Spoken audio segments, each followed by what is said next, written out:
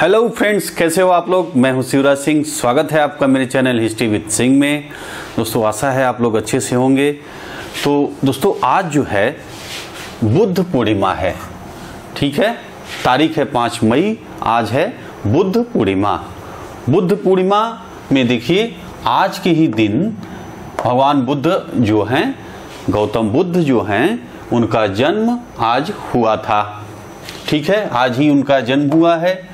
आज ही इनको ज्ञान की प्राप्ति हुई थी और आज ही इनको जो है महापरिनिर्वाण हुआ था। ठीक है? तो महापरिनिर्वाण मतलब है दोस्तों कि जो है आ, अपना शरीर जो है इन्होंने छोड़ दिया। इनकी मृत्यु हुई थी। ठीक है? तो भाई आज हम जो है इस वीडियो में गौतम बुद्ध के बारे में पढ़ेंगे। ठीक है? तो आइए देखें देखिए, इनका जो जन्म है गौतम बुद्ध का, ये है पाँच ईसा पूर्व में इनका जन्म हुआ है। लगभग पाँच ईसा पूर्व में इनका जन्म हुआ है। कहाँ पे स्थान क्या है? लुम्बिनी स्थान है। ठीक है? और ये कहाँ पे है? नेपाल में। यहाँ पे हम लोग गए थे, इनका जहाँ पे जन्म हुआ है नेपाल में तो हम लोग गए थे, वहाँ पे जो है काफ़ी जैसे गड्ढा था गड्ढे में जो है वो स्थान बना हुआ था। कई सारे सामान वहाँ पे रखे हुए थे। ठीक है? तो ये जो है इनका जन्म लुम्बनी नेपाल में हुआ है। ठीक है? ये जो है इच्छाकू वंश के जो है क्षत्रिय साक के, राजा सुद्धोधन थे। उनके जो है ये लड़के थे। ठीक है? इनकी माता का नाम था कहीं पे माया देवी लिखा है और कहीं पे किताबों में महामाया लिखा है। ठीक है? ये जो है इनकी माता कोलीय वंश की थी। ठीक है? वंश आप समझ ही रहे हैं? जैसे हम लोग के यहाँ जो है, जैसे रघुवंशी, चंद्रवंशी, है ना? और तो उसी तरह इनकी जो माता थी, वो कोलीय वंश की थी। क्लियर है? अब देखिए आगे। अब इनका जब जन्म होता है, इनके जन्म के ठीक सात दिन बाद जो है, इनकी माता जो है, इनका देहांत हो जाता है और इनका पालन पोषण जो है, कौन करता है? उनकी छोटी सगी बहन थी महाप्रजापति गौतमी जो है, गौतम बुद्ध का पालन करती हैं। ठीक है? और इनका जो है, नाम क्या था? इनका नाम बचपन का क्या था? सिद्धार्थ। ठीक है? जब तक जो है, ज्ञान प्राप्ति नहीं हुई थी, तब तक ये जो है, सिद्धार्थ कहे गए। बचपन का भी नाम है, जवान जवान हुए थे तब भी सिद्धार्थ कहे जाते थे। ठीक है? अब देखिए, इनकी जो जन्म का भी बड़ी रोचक कहानी है, इसे आप समझें।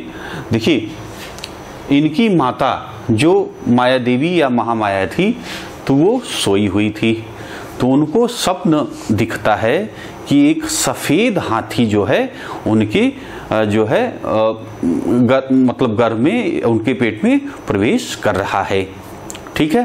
तो ये जो है उन्होंने अपने पति शुद्धोधन जो थे उनको बताया। फिर शुद्धोधन ने जो है बहुत सारे जो विद्वान थे उनको बुलाया और उनसे पूछा कि भाई ये जो सपना है जो स्वप्न आया है इसका क्या महत्व है? ठीक है? तो ये जो है आ, सभी जो विद्वान वर्ग थे वो इकट्ठा हुए। तो वो उन्होंने बताया कि भाई देखिए, कई लोगों ने बताया कि ये जो है, बहुत बड़ा तपस्वी राजा होगा। तो एक एक ब्राह्मण ने बताया, एक विद्वान जो था उसने बताया कि भाई देखिए, ये जो है, या तो बहुत बड़ा राजा बनेगा या बहुत बड़ा जो है, सन्यासी बनेगा। ठीक है? या तो बहुत बड़ा क्या होगा? चक्रवर्ती सम्राट बनेगा और या तो बहुत बड़ा जो है तपस्वी होगा बहुत बड़ा जो है यानी सन्यासी हो जाएगा गृहस्थ मतलब त्याग देगा। तो ये जब बात उन्होंने सुनी आ, उनके माता पिता ने तो उनको बहुत लगा कि ये भाई अगर ये चला जाएगा तो हमारा क्या होगा? तो उन्होंने जो सिद्धार्थ जो थे उनके पुत्र को बहुत अच्छे से उनको जो है, सारी सुख सुविधाएँ, जो भी व्यवस्था हो सकता था, उन्होंने सब कर दिया और उनको बाहर नहीं जाने दिया जाता था। बस वो महल में ही रहते थे। जो भी उनकी सारी आवश्यकताएँ थी, वो पूर्ण की जाती थी। ठीक है? और उसके बाद इनको जो है, एक एक सुंदर स्त्री से विवाह भी इनकार किया जाता है। और उसका नाम क्या था? देखिए, उनका नाम जो था, यशोधरा, उसकी, उनकी पत्नी का नाम था। और उनको एक बच्चा भी होता है जिसका नाम राहुल था। तो लेकिन जो सिद्धार्थ थे वो हमेशा जो है आ, उनको चिंता में ही रहते थे। तो एक बार इनको जो है इनका जो सारथी था आ, वो धी आ, मतलब चुपके से जो है और इन्होंने कहा कि भाई हमें नगर देखना है। तो वो जो है नगर घूमने निकला और सारथी ने जो है नगर में ले गया सारथी सिद्धार्थ को। तो सिद्धार्थ जब गए तो देखे तो उनके दिमाग में जैसे कभी जैसे जाते हैं तो एक बुढ़ा दिखता है। वो लाठी लेके चल रहा था। तो भाई पूछा, बड़ा क्रूप सा था, बहुत जो है धीरे धीरे चल रहा था। तो सिद्धार्थ ने सारथी से पूछा कि भाई ये कौन है? तो इन्होंने कहा कि ये बुढ़ा आदमी है जो ये ऐसा मतलब बुढ़ा हो गया है और ऐसे सब हो जाएँगे। सबको, सब जन्म लेते हैं, सब बुढ़े होते हैं। तो सिद्धार्थ बड़े आश्चर्यचकित हुए, यार, मैं भी बुढ़ा हो जाऊँगा? कहा हाँ आप भी बुढ़ा होंगे। तो सिद्धार्थ तो भाई विचलित होना चालू हो गए। फिर आगे बढ़ते हैं, फिर एक बीमार जो है मिलते हैं। बीमार पड़ा हुआ, रोगी था, वो उठ बैठ नहीं पा रहा था, बिस्तर पे पड़ा था। तो अब सिद्धार्थ सारथी से पूछते हैं कि भाई ये क्या है? तो शायद जो सारथी था है ये बीमार व्यक्ति है। सभी जो है जन्म लेते हैं और सबके जीवन में बीमारी होती है, लोग कमज़ोर होते हैं। तो कहा, क्या मैं भी ऐसा हो सकता हूँ? बिल्कुल, आप भी हो सकते हैं, अगर खान पान का सही ध्यान नहीं रखेंगे और एक समय बाद ऐसा आता है कि शरीर जो है, वो कमज़ोर हो ही जाता है। ठीक है? तो और फिर और ज़्यादा उदासी आ गई सिद्धार्थ को। अब और आगे बढ़ते हैं तो एक जो है लाश जा रही थी, बॉडी उठाए, चार लोग उसको कंधे उठाए जा रहे थे। सिद्धार्थ ने पूछा, ये क्या है? क्योंकि सब, ये चीज़ उनके जीवन में पहली बार घटित हो रही थी, पहली बार घटित हो रही। इसके पहले तो उन्होंने ये सब सारी चीज़ें देखी नहीं थी। वो तो महल की पूरी जो है, जितनी व्यवस्थाएँ लड़कियाँ, पूरे खाना पीना भूषण, सारी चमक धमक नित्य मनोरंजन, ये यही सब देखा था। और ये सब उनके जो पिता माता, पिता थे, वो व्यवसाय करके रखे थे, ये कि सुख में रहेगा तो कभी बाहर के दुख नहीं जान पाएगा और न ये संन्यास के बारे में सोचेगा। तो ये सारी चीज़ें व्यवस्थाएँ बना के रखी थी। लेकिन ये जब निकल गए, अब देखिए कि, अरे, ये तो क्या है? तो सारथी ने बताया कि भाई, ये बॉडी है जो है, लाश है, आदमी की जब मृत्यु हो जाती है तो ये खत्म हो गया है। तो उनको और ज़्यादा झटका लग गया कि भाई ये क्या है? तो फिर उसने कहा, क्या मैं भी मरूँगा? तो उसने कहा हाँ सब, एक दिन सब, जो जो भी जन्म लिया है, सबकी मृत्यु होगी। अब उनको और ज़्यादा दिक्कत, फिर थोड़ा सा आगे बढ़ते हैं। एक सन्यासी अपने ध्यान में बैठा रहता है। बहुत शांत, बहुत स्थिर, कोई हलचल नहीं, बहुत मतलब प्रकाश उसके चेहरे पे। तो फिर सिद्धार्थ ने पूछा कि भाई, ये कौन व्यक्ति है? बहुत शांत है और जंगल में बैठा हुआ है पेड़ के नीचे और बहुत मतलब तेज भी दिख रहा है।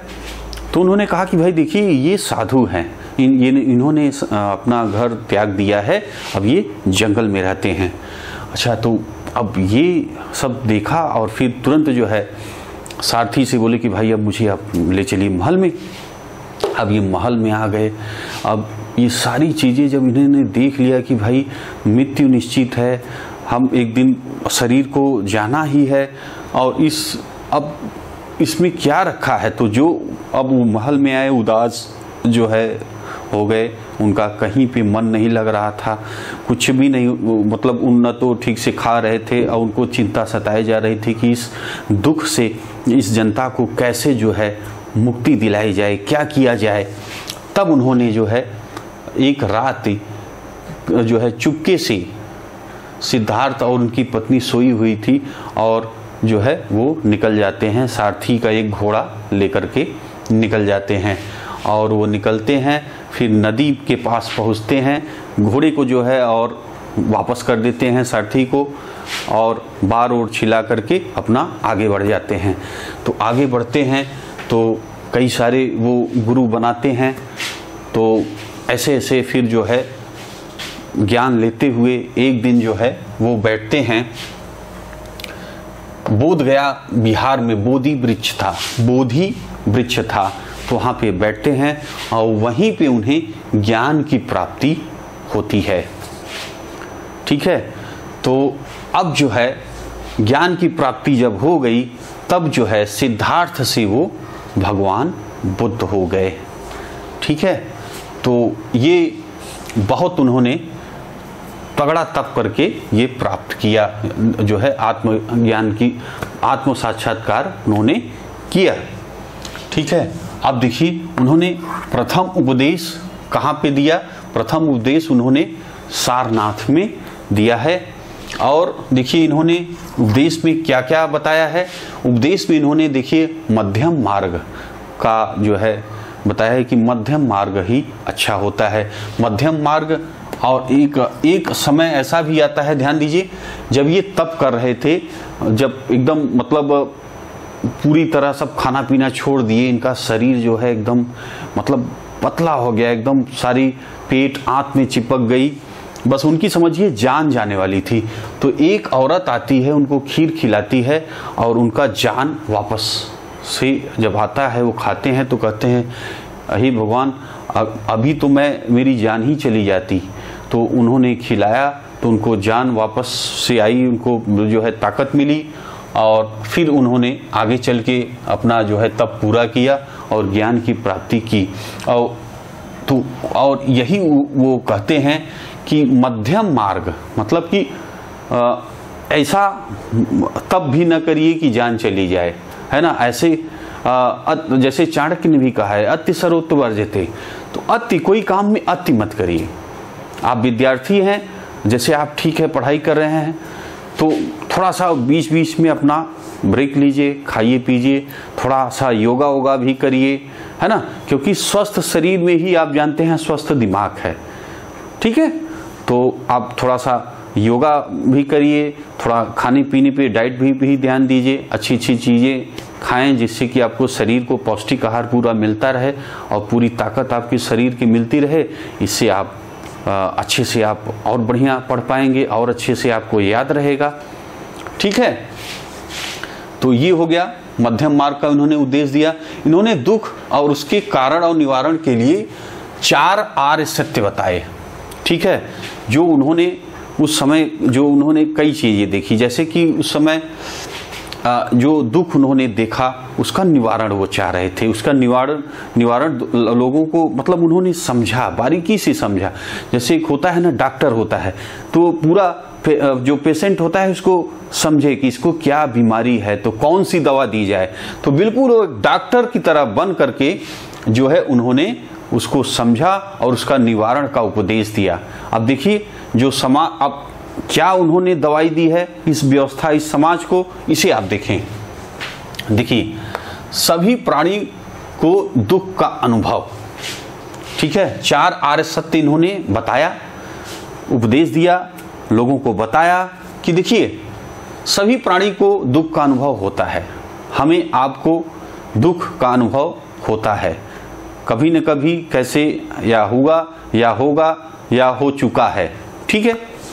और देखिए अब इस दुख का जो है क्या कारण है? आप बताइए जो इच्छाएँ हैं जैसे इच्छाएँ अभी जैसे आप विद्यार्थी हैं तो आपको लगता है कि आ, हम ये लक्ष्य पा जाएँ ये टारगेट पा जाएँ है ना?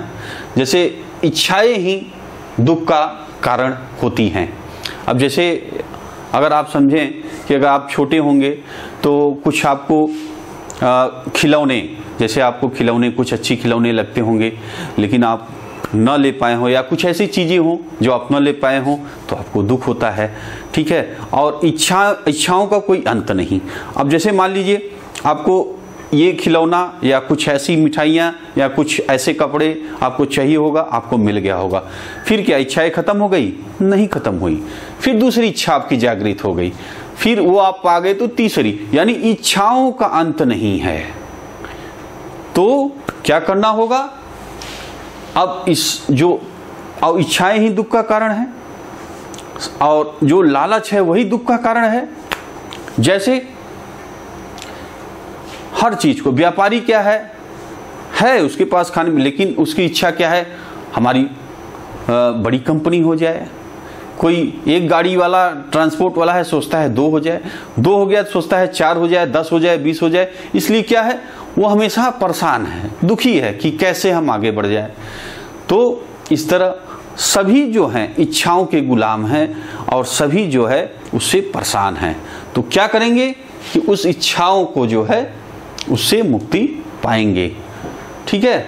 तो इच्छाओं से मुक्ति, लालच से मुक्ति आप पा गए यही जो है तीसरा आर्य सत्य आपका हो गया। ठीक है? तो यदि आप दुखी अब इस समाज से, आप चाहते हैं कि आपके जीवन में दुखी खत्म हो जाए तो आप क्या करिए? आप चाहते हैं कि दुख, दुखी ना आए तो क्या होगा? आप अपने लालच खत्म कर दीजिए। लालच भी कई तरह का है। अब जैसे माता का पुत्र से है कि पुत्र उसका है उसको लालच है कि कैसे मेरा पुत्र कितना अच्छा स्वस्थ रहे, कितना अच्छा पढ़ाई करे माता पिता भी चाहते हैं कि कितना आगे बढ़ जाए, ये सब इच्छाएँ हैं, ठीक है? तो अब नहीं पूरा होता है तो उनको दुख होता है। तो हर जगह पे, हर क्षेत्र में, हर लोगों को जो इच्छाएँ हैं, इच्छाएँ ही दुख का कारण हैं। अब आप समझ गए होंगे कि कैसे एक डॉक्टर बन करके पेशेंट कौन है? वो जो जनता है, हम आप हैं। तो वो वो इलाज करते हैं, वो गौतम बुद्ध डॉक्टर बन के हम लोगों का। ठीक है? तो अब आपको समझ में आया? आगे देखिए, और देखिए, अष्टांगिक मार्ग उन्होंने सुझाया। अष्टांगिक मार्ग में जैसे उन्होंने कहा कि अच्छे से आप जो है मतलब व्यापार करिए तो गलत तरीके से न करिए। तो इस तरह जो है उन्होंने अष्टांगिक मार्ग को सुझाया। ठीक? तो अब जो है आ, आज आप भी देखते हैं कि कैसे अगर ये चीज़ आप अपना ले। जैसे देखिए कि उस समय उन्होंने जो है घोर निंदा भी की है पशु बलि की निंदा की है। उसमें आप देखते हैं उस समय में काफ़ी जानवरों की हत्या की जाती थी, बलि चढ़ाया जाता था तो उसका भी इन्होंने विरोध किया है। ठीक है तो ये सब चीज़ें उन्होंने किया और उसके बाद देखिए, इनका महापरिनिर्वाण हो जाता है, मृत्यु इनकी हो जाती है। चार सौ तिरासी ईसापुर में 80 वर्ष की आयु में इनकी मृत्यु हो जाती है। ठीक है तो देखिए दोस्तों, अब ये जो आज कल का समाज है, देखिए जो भौतिकतावाद की तरफ़ भाग रहा है, जो केवल चाहिए चाहिए की तरफ़ दौड़ रहा है, अगर देखिए इनकी शिक्षाओं को जो है माने और पालन करे तो उसका जीवन कितना सुखमय हो जाएगा। ये आप ही इस पर समझिए, इसको आप विचार करिए। ठीक है? अगर आप वीडियो नहीं समझ पाए हो तो एक बार और देखिएगा, समझिएगा और गौतम बुद्ध के बारे में थोड़ा सा और आप पढ़िए। ठीक है? तो आप पढ़ेंगे तो आपको मज़ा आएगा और शांति आएगी। तो ये मेरा विश्वास है। ठीक है दोस्तों? तो अगर और भी कुछ आपको पूछना होगा तो कमेंट बॉक्स में बता पूछिएगा। और आपके कुछ विचार होंगे तो वो भी कमेंट बॉक्स में ज़रूर दीजिएगा। ठीक है दोस्तों तो फिर मिलते हैं आपसे अगली वीडियो में। वीडियो देखने के लिए दोस्तों बहुत बहुत धन्यवाद।